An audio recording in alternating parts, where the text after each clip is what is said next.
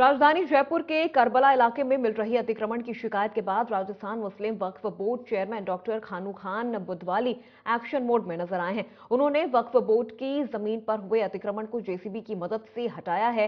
इस दौरान राजस्थान मुस्लिम वक्फ बोर्ड के अधिकारी, कर्मचारी के साथ साथ ब्रह्मपुरी थाने का जाप्ता भी मौके पर मौजूद रहा। वहीं वक्फ बोर्ड की तरफ़ से की गई इस कार्रवाई को लेकर चेयरमैन बुधवाली ने बताया कि आने वाले दिनों में यहाँ पर इज्तिमे का आयोजन होगा, जिसमें लाखों की तादाद में लोग शिरकत करेंगे।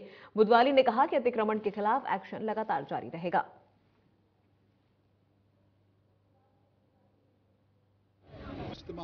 होने जा रहे हैं। यहाँ के तमाम आवाम, यहाँ के स्थानीय व्यक्ति पास खड़ा रह करके आज जिस तरह से यहाँ के लोगों का जो उम्मीद से ज़्यादा सहयोग मिला, खुद ने अपनी पट्टियाँ कचरा हटा के जो सीढ़ियाँ निकली हुई, उनको तुड़वाने का कार्य किया। इन्होंने लंबे समय से जो चौतरफ इस करबला में जो था, करीबन ये पाँच घंटे की कार्रवाई कंटिन्यू चल रही है, जिसमें तमाम यहाँ के लोग, हर छोटे बच्चे, बड़े, हर आदमी ने जो सहयोग दिया है, मैं इस एरिया के प्रभारी हूँ, जो मेरे बराबर खड़े हैं, जो खुद स्कूल चलाते हैं, इन्होंने भी खुद कहा कि गलत इंक्रोचमेंट जो हटना चाहिए, हम खुद हटा रहे हैं, और उम्मीद करते हैं कि अल्लाह की संपत्ति इसकी हिफाजत करना हर मुसलमान का फ़र्ज़ है।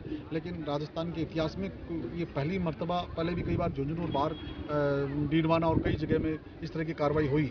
लेकिन जो एक सबसे बड़ी जयपुर में जो आज कार्रवाई हुई है, ये कार्रवाई से बिल्कुल निश्चित रूप से पता चलता है। लेकिन कुछ लोग इस मस्जिद के नाम पर कोई नेतागिरी या कुछ बवंडर फैलाते हैं कि साहब हमारे वफ लोग कब्जा करना चाहते हैं। वफ का काम कर्मचारी, वहाँ के तमाम आवाम, स्थानीय व्यक्तियों का एक ही टारगेट होता है कि हम सब आए, मिले, बैठे और इस वफ की संपत्ति की हिफाजत करें। ना कि जिस तरह से झूठी बवंडर, जिस तरह की बातें फैलाई जाती है कि इस पर कब्जा होगा, इसको बेचा जाएगा।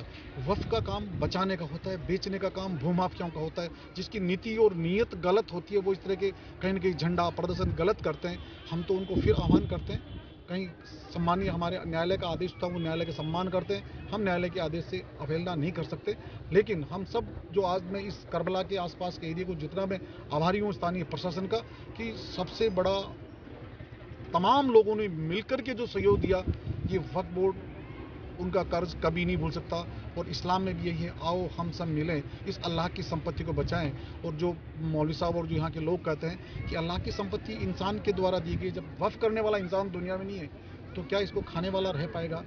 और यही इस्तेमा का मेन टारगेट है कि हम सब एक संदेश दें, अल्लाह की जो रजा के अनुसार चले, ये हमारा